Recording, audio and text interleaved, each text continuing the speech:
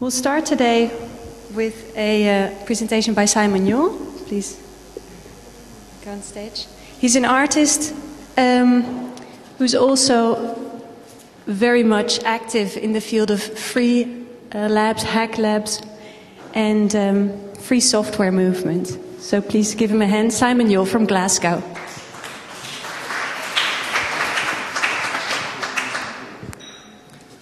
Okay, good afternoon. Um,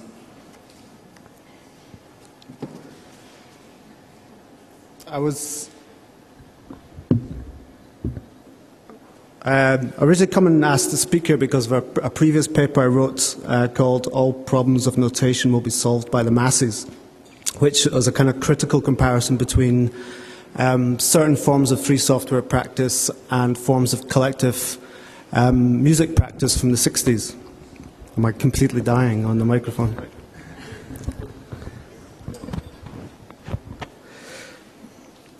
Uh, which sketched out some comparisons of the forms of kind of self-legitimating mechanisms people used in the development of these practices, so such as GPL licensing and stuff.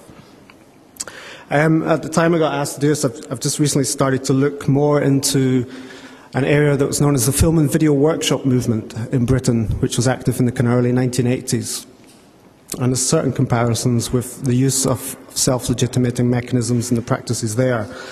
Uh, so this paper is partly just gathering, rather than a kind of in-depth analysis of citizen journalism, it's more gathering together some ideas about looking at this kind of comparative model between how practices such as citizens journalism are legitimated and how that compares to kind of previous works, um, which are broadly known as oppositional media.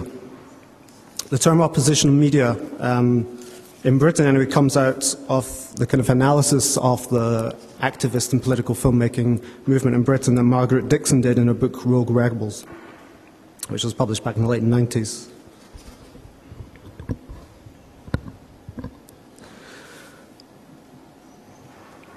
Uh, the film and video workshop movement of the early 80s rose from a variety of um, strands of development, some of which are quite familiar, but some are kind of less well known. One um, key and well-known phenomenon was the greater access to technology through widespread availability of video equipment, both at home in terms of VCRs and kind of access to tools and production facilities, etc. This is the very well-known story of independent media. Alongside this, however, there was appearance of a new television channel in the UK, Channel 4, which in its early days made a commitment to presenting alternative and independent voices on mainstream media. And this included a substantial amount of experimental artists' film work. But thirdly, and perhaps less well known, was the influence and involvement of a new working framework for creating film and TV in Britain, which was put together by the unions at that time, who were known as Association of Cinematograph and Television Technicians, ACT now known as BECTU. Um, and this was a conscious attempt to put together a kind of um, constitutional framework that would support a new form of working that broke down barriers between industry and public in a way that also created a, a meaningful balance between the two. And this was outlined in a document called the Grant Aided Workshop Production Declaration, published in 1982. The union movement in the UK had long recognised the importance of supporting the development of a media that related to issues and perspectives of the working classes and as an alternative voice to mainstream news. Historically, this had been implemented through the creation of union-run production crews, and formerly much of this work simply replicated the standards of existing state and broadcast media. The independent filmmaking scene that had been developing in Britain since the late 60s in particular um, had often problematic relation to the unions in that its more informal working practice were often seen as potentially undermining the more regulated practices that unions had developed in support of their workers. And to some extent, the kind of ways of working that artists and experimental filmmakers developed were seen as a trend towards casualization of the, of the filmmaking workforce. The workshop declaration came about as a way of supporting the more informal practices of independent and not-for-profit filmmaking, whilst preventing a drift towards exploitative ca casualisation. It sought what Yochai Benkler would call um, to protect non-market production from market exploitation, and to pool financial resources in order to redistribute finance across organisations. Formally, what it enabled is that a large number of small groups which had been operating independently in the UK were suddenly given an umbrella under which they could pool resources and franchise resources. Um, and certain agreements, such as the commercialisation of any films that were developed through the projects, would feed the finances back into the production of future films. So it was based not just upon an enabling model, but also a redistributive model. Part of the declaration enabled the creation of an integrated framework. Um, also enabled um, access to mainstream broadcast through the integration of Channel 4 into this framework, and that was kind of the key unique features of it. Uh, the Declaration endorsed a mode of production that developed out of the film workshop movement of the late 60s through groups such as the Berwick Street Collective and the London Women's Film Group, amongst others. And alongside support for independent filmmaking uh, working methods, which include a more collective sharing of skills within a group than would not formally be found within the industry, it also promoted what Paul Long calls a more integrative practice, uh, based around workshops which addressed issues of distribution, educational work, and provision of film and video equipment to broader public access. Groups within the agreement included um, Julie Isaacs' group Sankofa, the Sheffield Film Cooperative, and the Birmingham Film and Video Workshop, and later also the Black Audio Film Collective in London. The Birmingham Film and Video Workshop had been created by staff, partly by staff from Stuart Hall's Centre for Contemporary Cultural Studies Department at the University of Birmingham, um, figures such as Roger Shannon. And the workshop was therefore able to combine the making of grassroots media with the development of a more critical framework and conscious distribution strategy that accessed both local outlets and community halls and public meetings and via Channel 4 nationwide broadcast. And it was through the Birmingham Film Workshop that John Akomfrah from Black Audio Film Collective came to Birmingham, where in 1985 he found himself caught up in the Handsworth riots.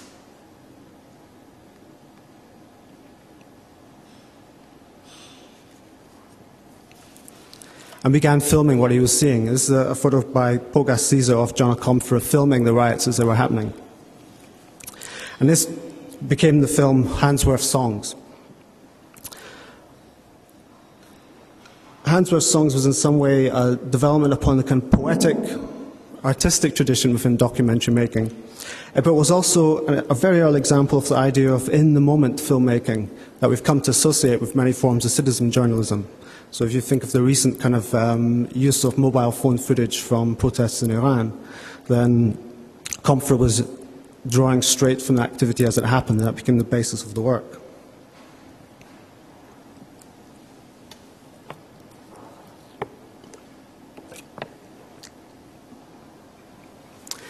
Other projects within the Birmingham Film and Workshop itself included groups such as the Dead Honest Soul Searchers, uh, which is an acronym DHSS, who were a filmmaking group consisting of uh, young unemployed who were facilitated by Johnny Turpey. They were a DMI documentary group who made films on issues such as uh, work employment training, but also on home taping. And their film, Why Are They Telling Us It's Illegal, was an early study of the debates around home copying of music. And for those of you interested in file sharing debates, exactly the same kind of paradigms of argumentation are put forward in this film from the early 80s that we've seen again and again regurgitated in kind of recent discussions around file sharing and music.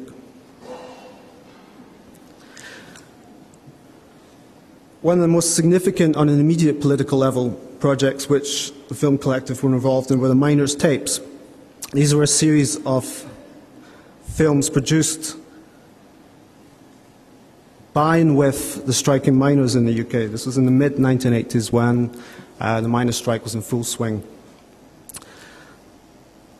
These came into being as it was felt that mainstream media was largely presenting a biased um, account of the strikes that did not take into account the, uh, uh, the miners' viewpoints. And so a, a whole selection of uh, works were produced which looked at different aspects of the strikes and sought to self-historicize the strikes as they were happening. It's perhaps significant that mainstream news picked up on these and gave coverage to the miners' tapes um, as a phenomenon, but in a way that was very consciously critical. Uh, ITV News Channel did a program on the miners' tapes in which they criticized the, the programs as making um, a kind of imitation of serious journalism, which should be treated with suspicion. Denigrating as a form of amateur imitation, an rhetoric which is very similar to that which has been applied to recent insurgent media from Iraq, uh, developed by groups such as Radio Free Europe. So this denigration of alternative uh, media is amateurish. Can to some extent dog the development of the medium in its early days.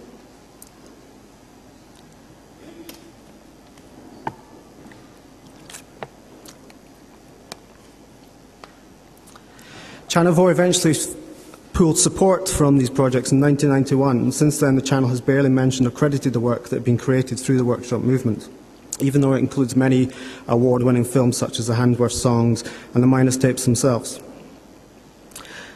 And despite the massive influence that projects such as the Dead on a Soul Search has had on the development of DIY TV production in Britain, uh, with a kind of um, ad hoc, rough and ready style that came to be Channel 4's hallmark in more commercial projects such as The Tube and later the growth of reality television.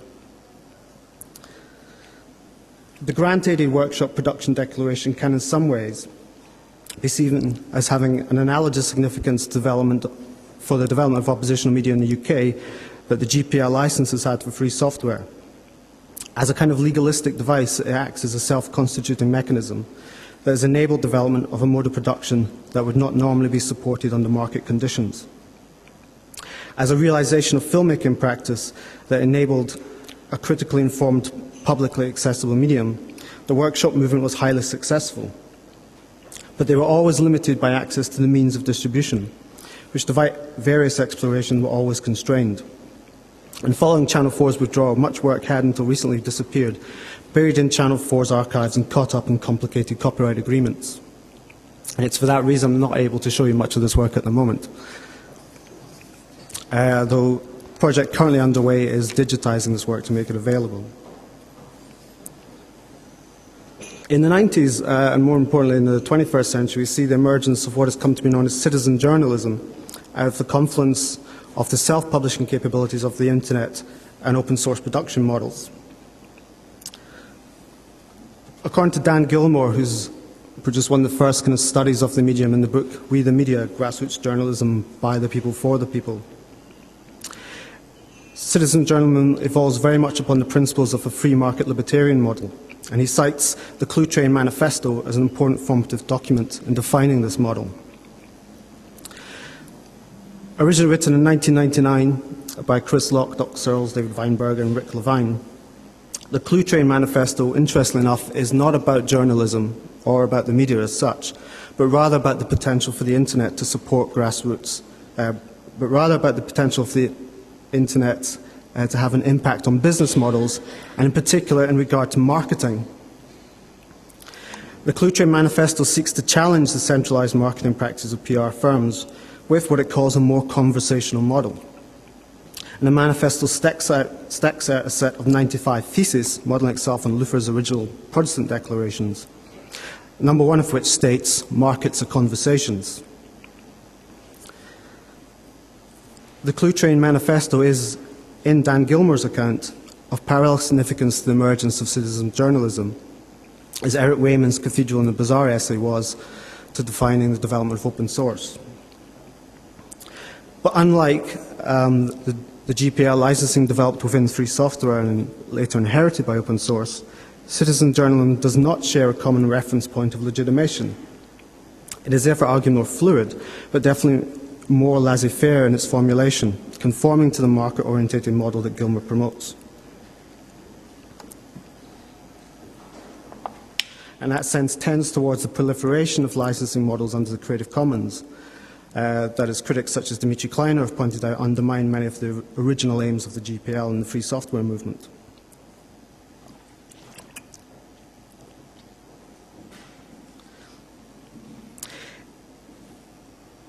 Nevertheless, there are parallels with the oppositional media movement of the 1980s in determining allowing greater public access and availability of tools, and in certain extents improves upon it partly through the ability to create new tools and not simply to depend on those provided, and also in its success in distribution and enabling a distribution platform that is separate from mainstream media.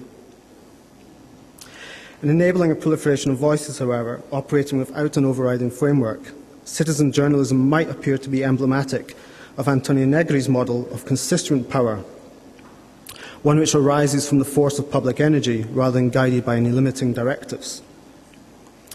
Interestingly, Gillmor's account places the rise of citizens journalism in a moment that seems to echo the conflict between people and empire that an independent United States rose from, one that was heavily driven by independent media a media which Negri states embodied the practice of the revolution prior to the founding of the US Constitution.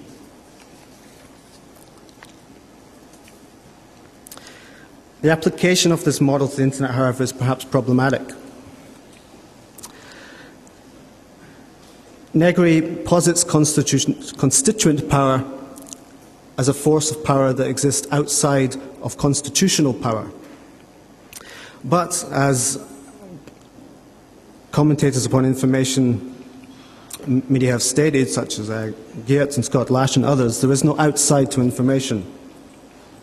And therefore, the construction of an outside power is perhaps a self delusional model.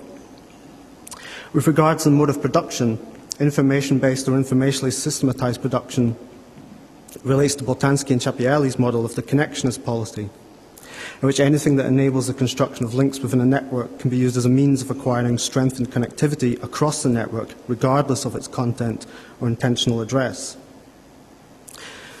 And this critique, in some senses, can be applied to the media uh, coverage of the use of so-called citizens journalism methods in the protests and election protests in Iran. What became significant in the coverage of the Iranian protests was the ways in which it became aggregated in different forms to suit different agendas.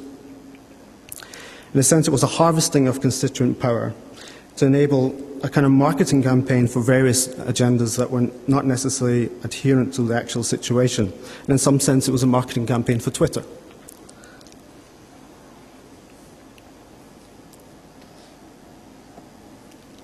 And it's significant uh, that the US government stepped in to maintain Twitter's servers during the very kind of crux of the election protests.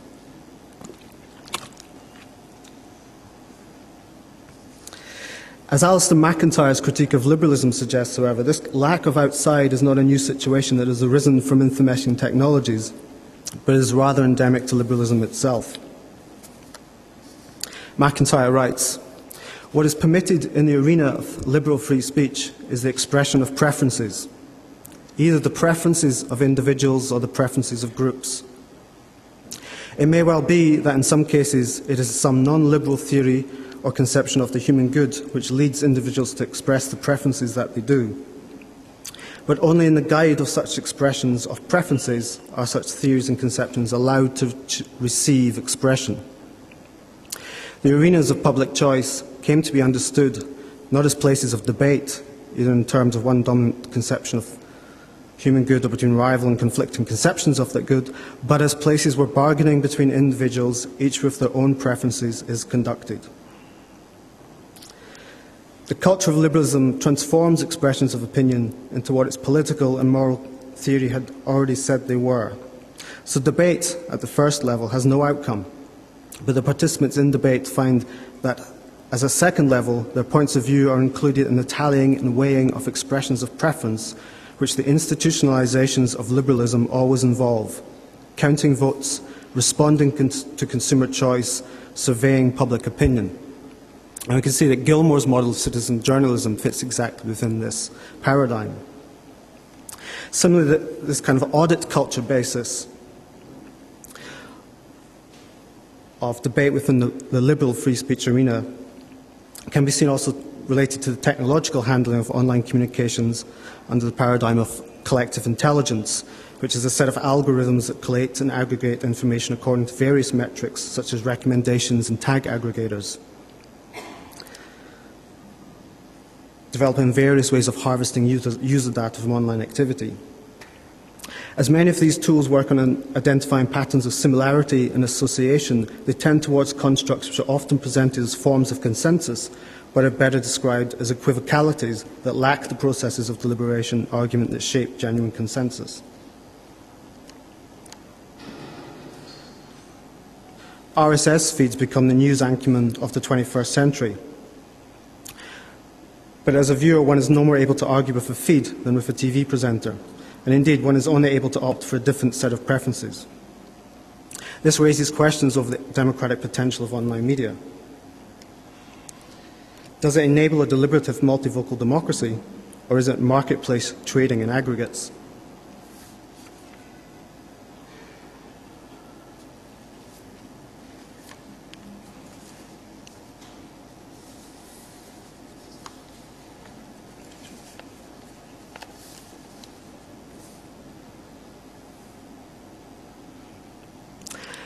The success stories of citizens' journalism, which are presented by writers such as Benkler and Gillmor, are often correctional stories rather than critical ones. Stories in which people seek to put right or perceived wrong but do not develop a practice of criticality, such as the um, exposure of voting machines, um, errors in voting machine computational machines in um, statewide US elections. Moreover, important, do they help develop such a practice of criticality within their audiences. From the perspective of seeking the development of critically criticality and critically informed modes of practice, the GPL and related open licensing frameworks are insufficient, precisely because they are restricted to issues of distribution and circulation. Modes of production are instead being constituted almost through the back door via the, the formulations of web service APIs, such as those of Technorati and Google. Power relations within 21st century media are seemingly expressed in the controlling of the potentialities of aggregation, therefore. In this sense, the web service API becomes, in Negri's words, the constitutional machine, which in order to continue to function according to the rules must present itself as a sociological machine of selection of a representation adequate to the Constitution. The freedom introduced in the political sphere is destroyed in the administrative sphere.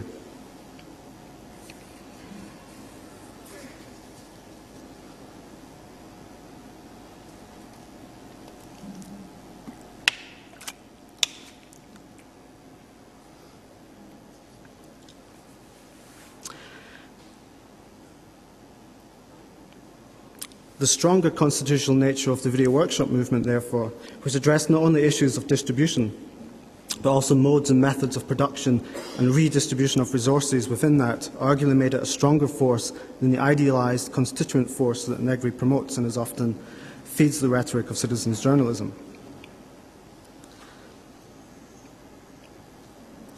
Contrary to Negri, the effectivity of constituent power perhaps therefore does reside in moments of constitutionalisation, and is to be found in Herodotus' call for development of new institutions. As such, critical practices seem to work best when they evolve around intensified local networks that operate across different media and have a strong sense of situatedness. These create a kind of offline shadow network in which the internet does not exist as a, as a main site of struggle or organisation, but rather as a repository that enables a later form of self-reflection and self-history, which in turn may be the basis for the formation of a new constitutional framework within the group.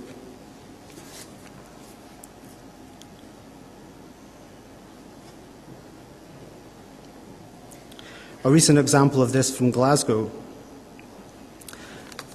has been the use of the internet in a series of protests around school closures, where local communities across the city made quite extensive use of social media network, social network media, blogging tools, and video.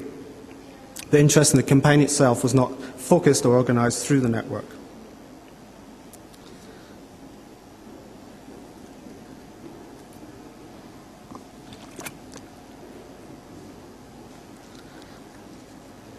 But its presence um, in the wake of what has, to be honest, um, a campaign that prevented the closure has nevertheless enabled a reconstitution of the groups around new themes that the process of self mediatizing has enabled them to reflect upon.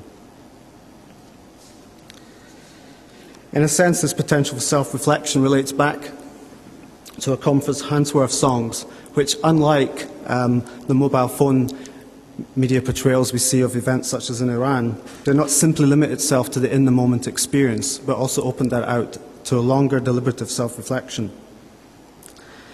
In the case of the Glasgow campaigns, this self reflection is not built into the frame, but rather exists outside of the frame. And the powers of the protest are reconstituted in a new form. How constitutionalism operates, therefore, needs to be more carefully negotiated. Perhaps need a kind of critical constitutionalism that does not seek singular inscription in bureaucratic modes of production or technocratic license regimes, but rather a disaggregation of those frameworks which seek to harvest it. Okay, I'll finish there. Thanks.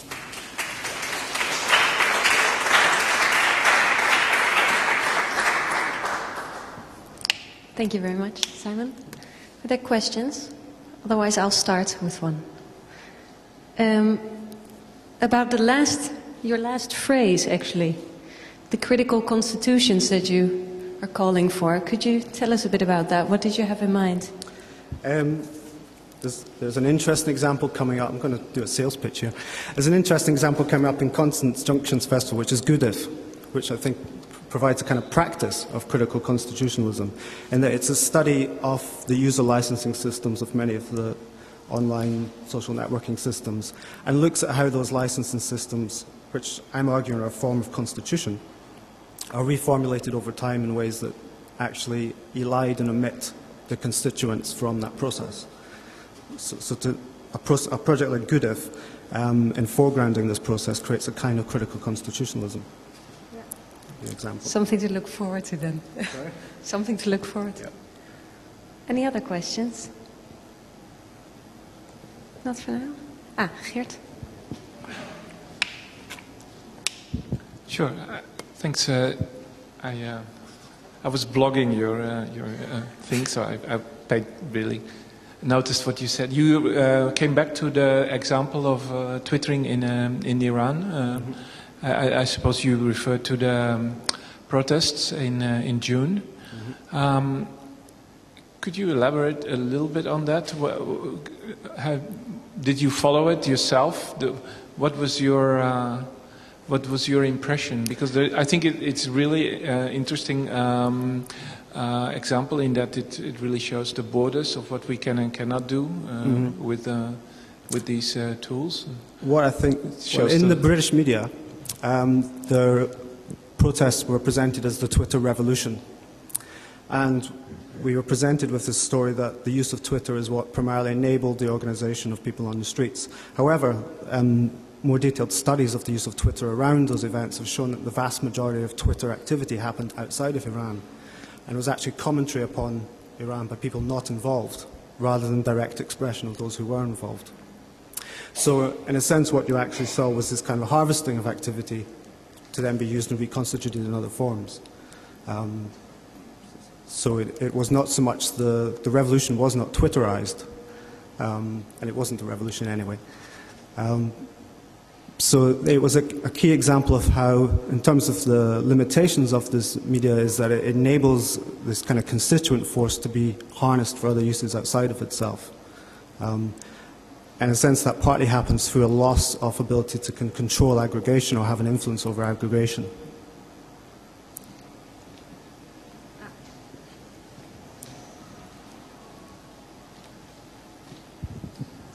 I, I, don't want to flog the Twitter revolution thing too desperately, but um, I'm wondering if you were aware of or had any thoughts on the recent arrest of uh, two Americans who, during the G20 summit in Pittsburgh, were using uh, radio scanners and then used a Twitter feed to um, relay information about police movements to people on the ground and uh, how that might fit into the sort of uh, longer continuity here That's, that's one question.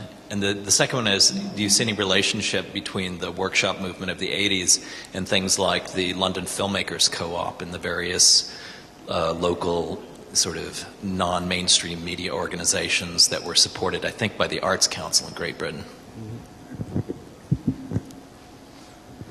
Um, okay, I didn't quite catch what was the point you were wanting of the second point?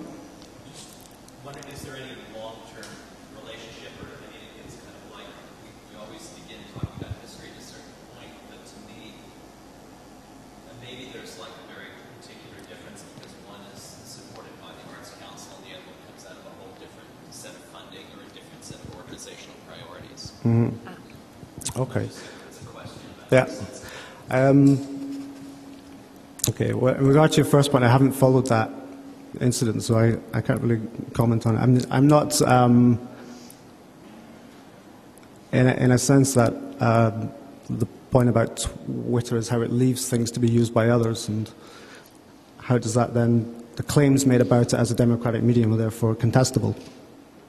In terms of this longer history issue, um, there are kind of Margaret Dickinson in her Rebel Reels uh, book, Rogue Reels book, does chart a link between these kind of groups.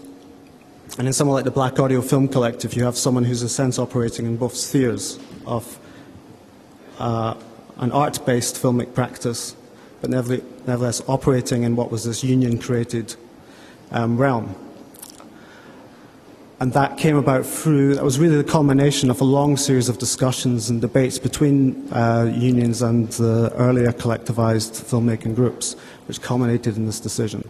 Um, it was partly a recognition, I think, from earlier groups um, that arts funding in itself could not fully sustain the development of a critical voice because arts funding went towards an aestheticized form of filmmaking. And we've seen that evolve in Britain to quite a large extent. There's now very much a distinct aestheticized film and video tradition in Britain, which has almost entirely divorced itself from the politicized tradition, despite the fact the two coming from a similar origin. Um, how this fits into a longer history is I think that relationship with the unions and the kind of issues that that brought out to do with um, working conditions and fair regimes of production and such is quite an interesting argument in relation to free software and the kind of valorization of voluntary labor in the free software. And it's an aspect that I think is weak within the free software and open source movement, is an understanding of this um, valorization of voluntary labor. And to an extent, the workshop declaration provides a model where people did try to tackle, acknowledge this and try to tackle it and find a framework that could enable the kind of flexibilities and self motivational um, departures that that kind of working allowed, but at the same time protected it to some extent from exploitation. So I think there's an interesting um, kind of historical lesson for us to, to draw from that. Okay, final question. Um, Thanks for the explanation uh, on the last question. Do you also have uh, uh, some uh, examples of how to actually uh, tackle that problem uh, uh, within the open source uh, movement? There's a few. Um, Dmytri Kleiner's copyfarleft proposal is an interesting proposal on those lines, which seeks to combine copyleft mechanisms of redistribution, uh, financial redistribution from within the projects and such. Um, I think also there's scope to look at the significance of free software in relation to other forms of unremunerated labour. So, for example, the citizens' wage movement and the debates around that, I think, have a great relevance to free software. Um, this is actually a topic I'm going to talk about at the Make Art Festival. I'm doing another advert um, in a couple of weeks' time. Um, so um, watch this space, as they say, um, for more news on that. But I think that's these kind of issues are quite important. Uh, it's a major kind of uh, lacunae in the free software rhetoric about this kind of um, valorization of voluntary production. And it's increasingly come to the fore as the development of open source has, has progressed across uh, more commercial media. Okay, thank you very much. Simon Yuill.